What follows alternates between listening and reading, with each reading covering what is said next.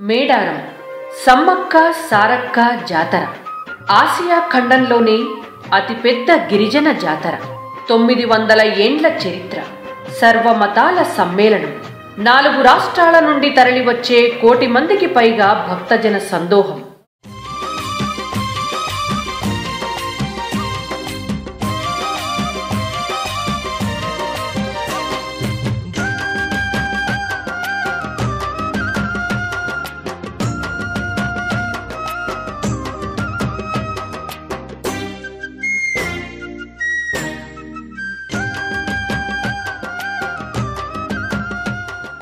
సమ్మక్క సారక్క.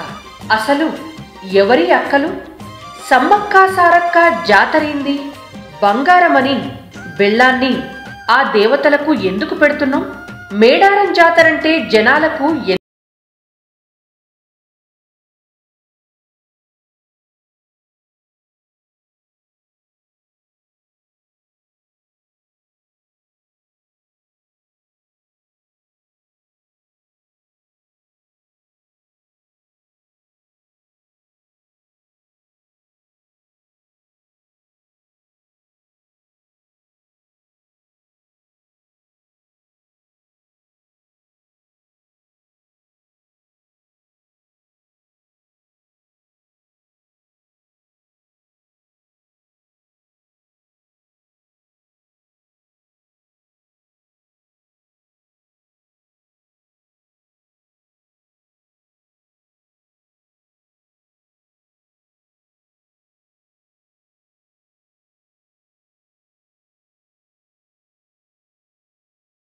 ఎ- మనుషుల కోసం రక్తాన్ని చెందిన యేసు జీసస్ అయ్యిండు.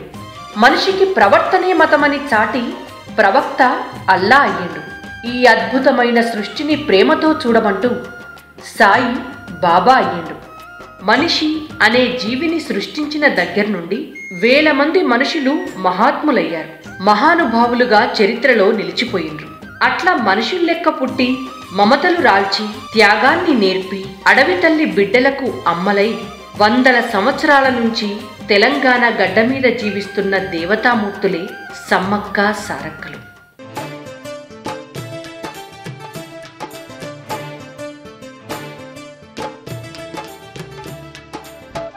సమ్మక్క జీవిత కథకు చారిత్రక ఆధారాలు లేవు. ఉన్నదంతా జానపద సాహిత్యమే. ఈ జానపదుల ప్రకారం ప్రస్తుతం కరీంనగర్ జిల్లాలోని జగిత్యాల ప్రాంతాన్ని పొలవాసగా పిలిచేవాళ్ళు.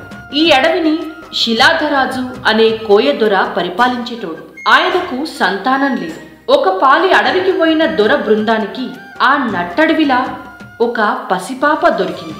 దైవ ప్రసాదంగా భావించిన శిలాధరాజు ఆమెకు సమ్మక్క అని పేరు పెట్టుకొని అల్లారు ముద్దుగా పెంచుకుంటాడు. జానపదంలో సమ్మక్క దొరకడమే దైవాంశగా భావించిండ్రు. ఆమె ప్రతి చర్యకు దైవత్వాన్ని ఆపాదించిండ్రు. సమ్మక్కను చిన్నతనం నుంచే దేవతలా ఆరాధించిండ్రు ఆ గిరిజనం. అయితే సమ్మక్క చరిత్రను ఒక వీరవనిత జీవిత గాథగా చూస్తే అప్పుడు జరిగిన ఎన్నో విషయాలు కొత్త కోణంలో అర్థమవుతాయి. సహజంగానే అడవి బిడ్డలకు ఆత్మాభిమానం ఎక్కువ ఉంటుంది. స్వచ్ఛత ఉంటుంది. ప్రకృతి మీద అపారమైన ప్రేముంటది. అడవిలో బతుకుతారు గనుక కరుకుగా పెరుగుతారు. వీరుల్లెక్క ఎదుగుతారు. సమ్మక్క కూడా అట్లనే పెరిగి పెద్దదైంది.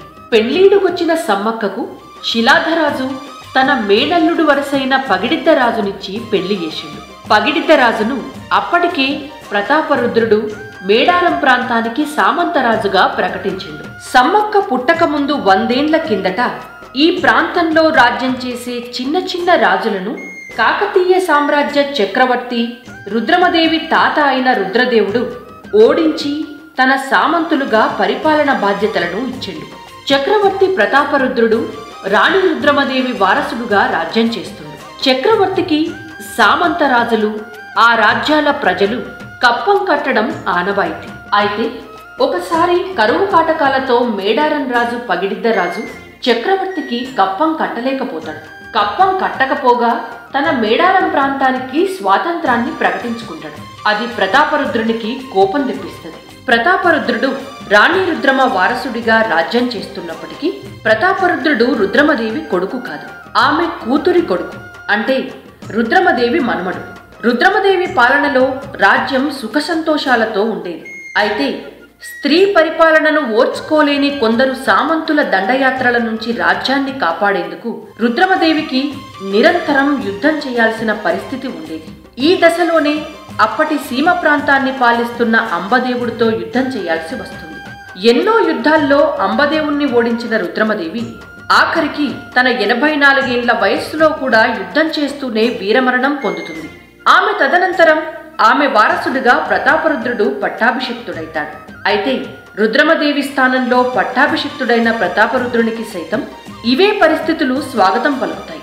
సామంతుల తిరుగుబాట్లే కాదు రాజ్యంలో కులాల కుమ్ములాటలు సైతం ప్రతాపునికి తలనొప్పిగా మారుతాయి. అప్పటిదాకా కలసికట్టుగా సుస్థిర కాకతీయ సామ్రాజ్యానికి తమ చేయూతనందించిన రెడ్డి వెలమ కమ్మ లాంటి కులాలకు చెందిన నాయకులు ఆధిపత్యం కోసం రాజ్యాన్ని అస్థిరపరిచేందుకు ప్రయత్నిస్తుంటారు. ఇలాంటి స్థితిలో జీవితకాలమంతా యుద్ధాలతోనే గడుపుతున్న ప్రతాపరుద్రుడికి మేడారం సంఘటన ఆగ్రహాన్ని తెప్పిస్తుంది. ఎక్కడో ఉన్న గుంటూరు నెల్లూరును సైతం తన ఆధీనంలోకి తెచ్చుకున్న ప్రతాపరుద్రుడికి తన రాజధాని ఓరుగల్లుకు వంద కిలోమీటర్ల దూరంలోనే ఉన్న ఓ చిన్న అడవి ప్రాంతం స్వాతంత్రం ప్రకటించుకోవడం అవమానకరంగా అనిపిస్తుంది. ఇలాంటి స్వాతంత్ర ప్రకటనలను ఆదిలోనే తుంచేయకపోతే జరిగే పరిణామాలేందో ప్రతాపునికి బాగా తెలుసు. ఇరుగు పొరుగు సామంతులు చక్రవర్తుని అసమర్థుని లెక్క భావిస్తారు. దాన్నే స్ఫూర్తిగా తీసుకొని సామంతులు చెలరేగిపోతారు. ఎవలకు వాళ్ళు స్వాతంత్రం ప్రకటించుకుంటారు. సామ్రాజ్యం కుప్పకూలిపోతుంది. అందుకే ప్రతాపరుద్రునికి మరో ఆప్షన్ లేకుండా పోయింది. చిన్న రాజ్యమైనా అడవి బిడ్డలైనా సైన్యమే లేని రాజైనా యుద్ధం ప్రకటించకుండా ఉండలేని పరిస్థితి ఏర్పడింది. యుద్ధం మొదలైంది. కాకతీయ సైన్యానికి ఎదురు లేకుండా పోయింది. సుశిక్తులైన కాకతీయ సైన్యం కోయ సైన్యాన్ని కకా వికలం చేసింది. పగిడిద్దరాజు వ్యూహాలు పనిచేయలేదు. వీరోచితంగా పోరాడిన కోయ సైన్యం ఓడిపోక తప్పలేదు. ఒకరి తరువాత ఒకరుగా పగిడిద్దరాజు కుటుంబం మొత్తం వీరమరణం పొందింది. పగిడిద్దరాజు మరణం తర్వాత సమ్మక్క కూతురు సారలమ్మ యుద్ధానికి నాయకత్వం వహించింది. కాకతీయ సేనలతో వీరోచితంగా పోరాడింది. అయినా కాకతీయ సైనిక శక్తి ముందు నిలవలేకపోయింది. వీరమరణం పొందింది. సారలమ్మ తరువాత సమ్మక్క కొడుకు జంపన్న యుద్ధం చేశాడు. జంపన్న మరణం తరువాత సమ్మక్క యుద్ధ భూమిలోకి అడుగుపెట్టింది. కాకతీయ సేనలపై విరుచుకుపడింది. అతి కొద్ది మంది సైనికులతో కాకలు తీరిన కాకతీయ సైన్యానికి ముచ్చమటలు పట్టించింది వీరనారి సమ్మక్క. కానీ వేలాది మంది కాకతీయ సైనిక బలం ముందు సమ్మక్క సైన్యం నిలవలేకపోయింది. ఒక్కొక్కరుగా అందరూ వీరమరణం పొందుతున్నా సమ్మక్క ఆయుధం దించలేదు. పోరాటం ఆపలేదు. యుద్ధం పరిసమాప్తి కావడం సమ్మక్కకు తెలుస్తుంది. ఇక తన జీవిత పరమార్థం వైపు అడుగులు వేసింది. రక్తం ఓడుతున్న శరీరంతో చిలకల గుట్ట వైపు వెళ్ళసాగింది కొంత దూరం తరువాత ఆమె అంతర్ధానమైంది. ఆమె కోసం ఆత్రంగా వెళ్ళిన అడవి బిడ్డలకు ఆమె పసుపు కుంకుమ భరణిగా కనిపించింది. సమ్మక్క అవతారం పూర్తయింది. అడవి బిడ్డలకు అర్థమైంది.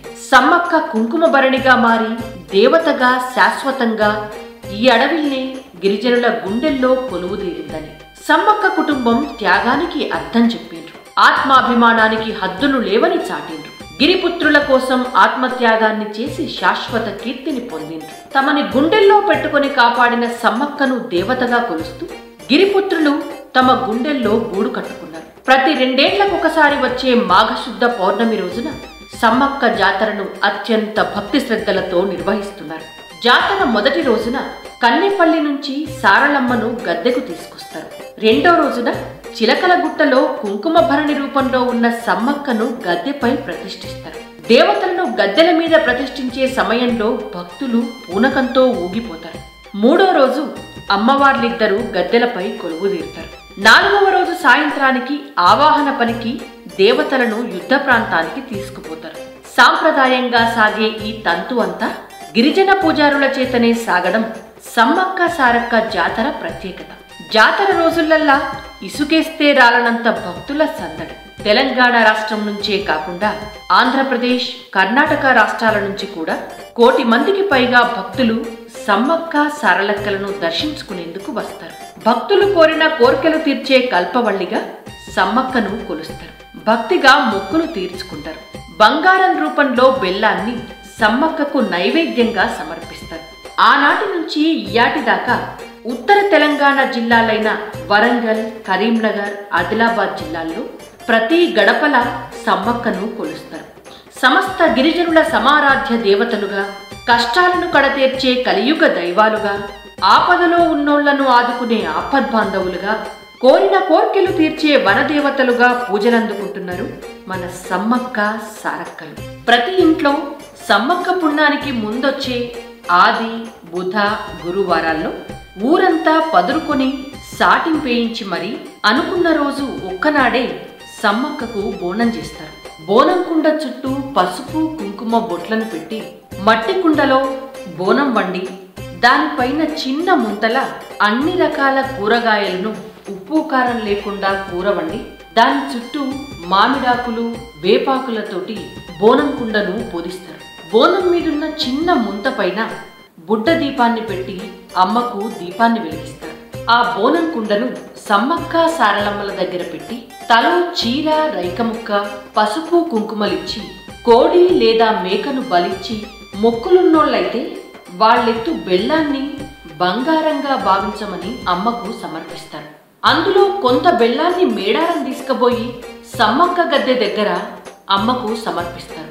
మిగిలిన బెల్లాన్ని బంధుమిత్రులందరికీ దైవ ప్రసాదంగా పంచుతారు. తమ తాహతుకు తగ్గట్టుగా తమ మొక్కులను బట్టి అవసరమైతే బంధుమిత్రులందరినీ కలుపుకొని సకుటుంబ సపరివార సమేతంగా మేడారం తీర్థం పోయి అక్కడే మూడు రోజులుండి మరి ఇంటి వద్ద చేసే కార్యక్రమాలన్నింటినీ కూడా అక్కడనే చేసి ఒకరోజు సమ్మక్కకు తెల్లారి సారలమ్మకు మొక్కులన్నీ చెల్లించుకొని అన్ని కార్యక్రమాలు అయిపోయిన తర్వాత సమ్మక్క సారలమ్మలను తిరిగి యుద్ధ ప్రాంతానికి పంపించిన తర్వాత ఇంటిదారి పడతారు. ప్రతి రెండు సంవత్సరాలకు ఒకసారి ఈ విధంగా గిరిజనులే కాకుండా ఉత్తర తెలంగాణ దక్షిణ తెలంగాణలోని కొంత ప్రాంతం కూడా సమ్మక్క సారలమ్మ జాతరకు బయలుదేరుతుంది. కోటొక్క మొక్కులతోటి కోరిన కోరికలన్నీ తీర్చే కల్పవళ్ళులుగా సమ్మక్క సారలమ్మలు పన్నెండవ శతాబ్దం నుండి భక్తుల గుండెల్లో కొలువుదీరి ఉన్నారు.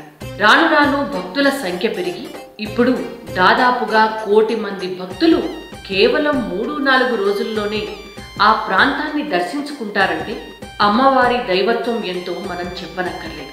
ఒక్క తెలంగాణ ప్రాంతంలోనే కాకుండా ఒక్క భారతదేశంలోనే కాకుండా మొత్తం ఆసియా ఖండంలోనే అతిపెద్ద గిరిజన జాతరగా మేడారం కొలువుదీరింది. తెలంగాణ కుంభమేళాగా కూడా మేడారం ప్రసిద్ధిగాంచింది. ఇది తెలంగాణ పండుగ. ఇది మన గిరిపుత్రుల పండుగ. ఇది తెలంగాణ మట్టి బిడ్డల జాతర. మేడారం సమ్మక్క సారలమ్మ జాతర. తెలంగాణ గౌరవప్రదంగా భావించే అతిపెద్ద జాతర. నూటొక్క మొక్కులు కోటొక్క దండాలతో అమ్మను కొలుద్దాం. రండి మేడారం పోయొద్దాం. మన కొంగు బంగారం చేసుకుందాం. జై తెలంగాణ.